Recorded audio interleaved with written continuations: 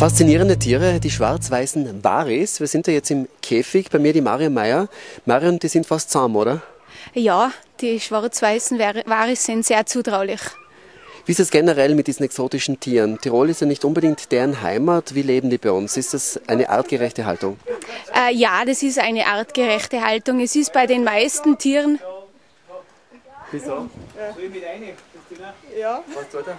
Die sind mir jetzt gerade ins Bild reingekupft. Ich habe euch nicht mehr gesehen. So, okay, total weg, gut.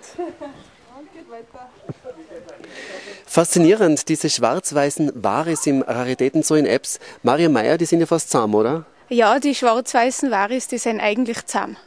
Wie ist das generell? Exotische Tiere in Tirol, das ist nicht unbedingt deren Heimat. Können die bei uns trotzdem gut leben?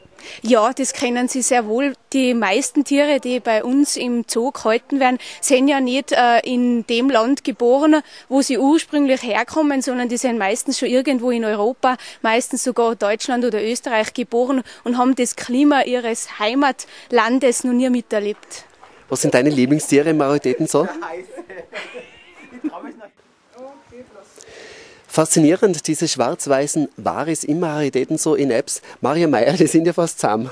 Ja, die schwarz-weißen Varis bei uns im Zoo sind zahm.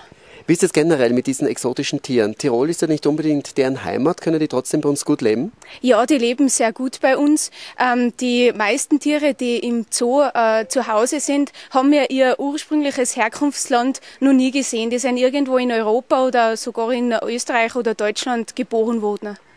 Eine faszinierende Tierwelt, die Sie ja kennenlernen können im Raritäten so in Apps. Am besten gleich einmal vorbeischauen. Wir machen eine kurze Pause in unserem Magazin Lust auf Kufstein.